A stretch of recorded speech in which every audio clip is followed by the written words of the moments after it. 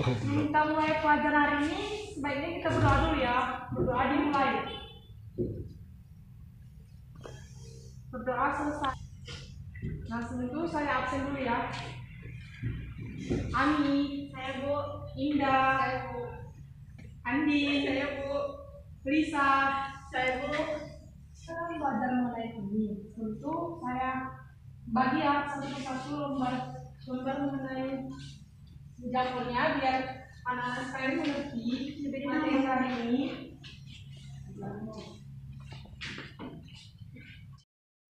Kita belajar tentang materi jamur, saya menyampaikan tujuan pembelajaran hari ini, yaitu pertama saya di sini diharapkan siswa itu mampu mengetahui mengenai pengertian jamur, struktur jamur, ciri-ciri jamur, dan bagaimana membedakan ciri-ciri jamur yang beracun dan yang tidak beracun. Nah, saya mau tanya, ada yang tahu nggak itu jamur itu apa pengertiannya atau definisinya? Boleh kita yang eh Ami, silakan. Jamur itu termasuk tumbuhan tingkat rendah, Bu. Ya benar, ada lagi yang jawab? Hmm, Jamur juga memiliki dua sifat, yaitu saprofit dan parasit. Ya benar. Ya jamur itu salah satu tumbuhan tingkat rendah yang memiliki dua sifat yaitu parasit dan saprofit. Kenapa dikatakan parasit?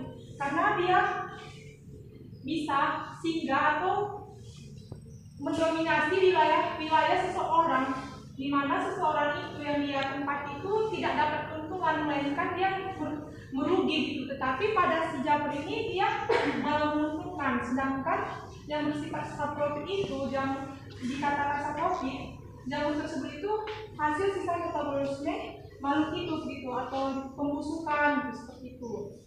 Dan jamur ini juga sangat berperan penting ya di dunia ini ya di lingkungan kita juga termasuk untuk potensi bisnis gitu. Bisa seperti yang kita ketahui kan jamur-jamur itu banyak bisa diolah seperti makanan gitu. ibu akan menunjukkan bagian dari jamur itu?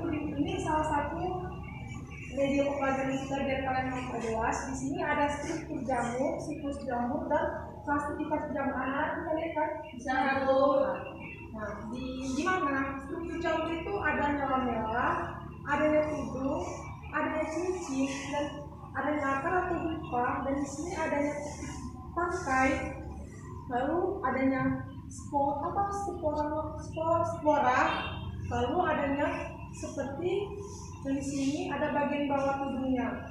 Lalu di siklus hidupnya itu di mana reproduksi dari jamur ini ada dua cara, seksual dan aseksual. Nah, di siklus hidupnya itu dia akan mengalami fase singani. Setelah dia melalui fase singani ini, dia akan masuk ke dalam tahap fase mitosis. Setelah dia di mitosis ini kayak menjadi hiploid, di- menjadi empat, dia akan masuk ke, ke fase meiosis dan dia akan menyebar dan menimbulkan spora baru dan menjadi spora yang lebih tumbuh lagi. Lalu di mana klasifikasi jamur itu ada ya, seperti ascomycota, basidiomycota, zygomycota, deuteromycota dan ascomycota. Nah, di sini ada yang bertanya, di sini ada yang bertanya dengan ibu. Tadi saya sudah menjelaskan mengenai jamur kepada anak-anak. Di sini saya minta kalian mengidentifikasi mengenai jamur yang beracun atau tidak dan tadi sudah saya sebutkan juga disebutkan kan ada juga di kota termasuk klasifikasi jamur kan. Saya ingin kamu juga mengidentifikasi mengenai zygomicota beserta contoh jamur yang termasuk golongan zygomicota tersebut. Silakan dicari anak-anak saya tunggu seba- se 15 menit ya. Baik, Bu.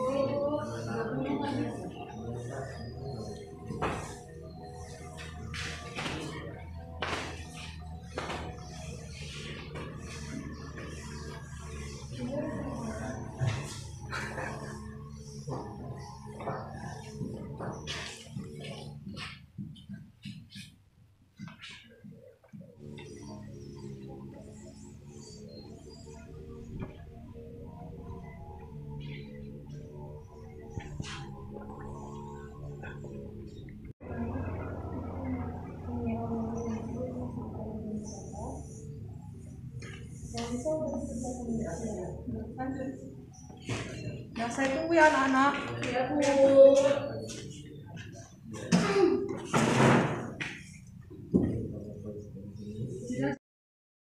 sudah 15 menit saya harap anak-anak sekalian ibu dapat mempresentasikan ke depan atau duduk di bangunnya juga apa-apa untuk mempresentasikan hasil yang kalian dapat mengenai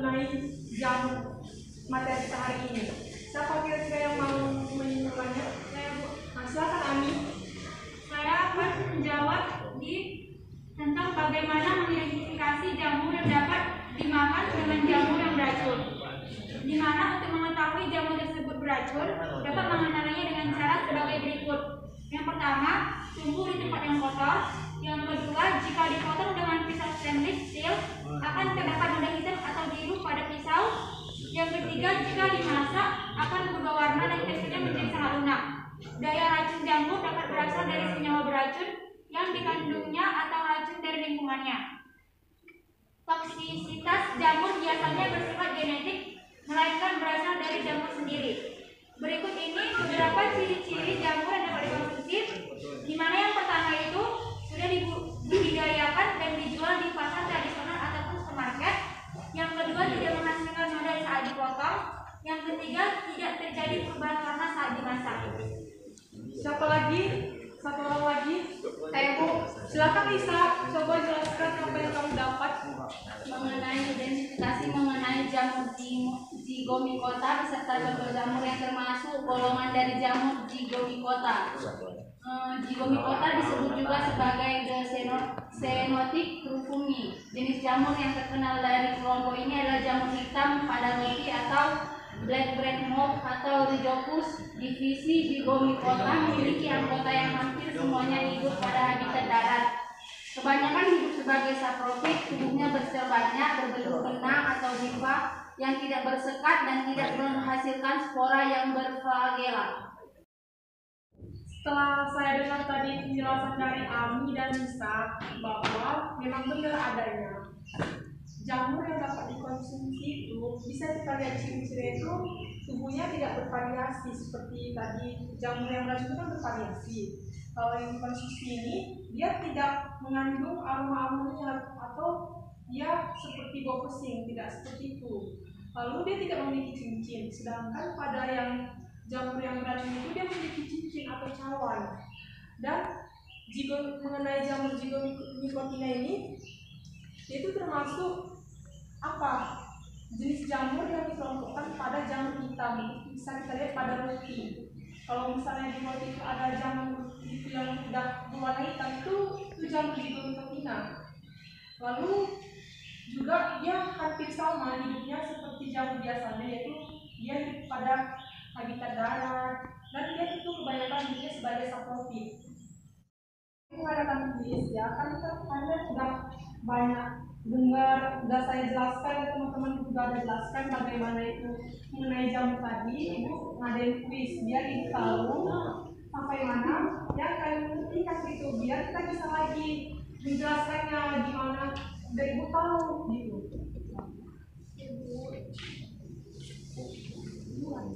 Saya tunggu 15 menit ya harus selesai hari ini. Jangan ada yang contek ya. Saya harap kalian bisa menjalannya dengan hasil pikir kalian sendiri. Ya Bu. Tidak punya pikir ya. Silakan dikerjakan.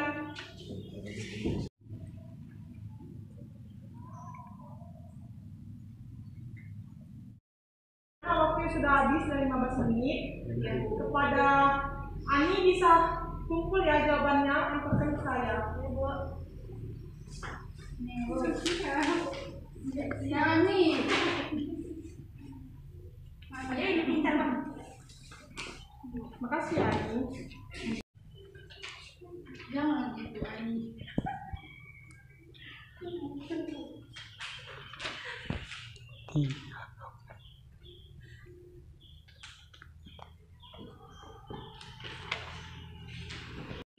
Setelah saya tadi saya sudah periksa hasil quiz hari ini, saya mendapatkan siapa yang paling tinggi nilainya hari pada hari ini quiznya, yaitu Lisa 100 dan Andin 95. Jadi saya harapkan yang saya panggil tadi maju ke depan. Saya mau ngasih reward. Oke. Juga juga. Nah, saya persilakan tadi saya sebutkan namanya maju ke depan ya. Mau ibu kasih buku.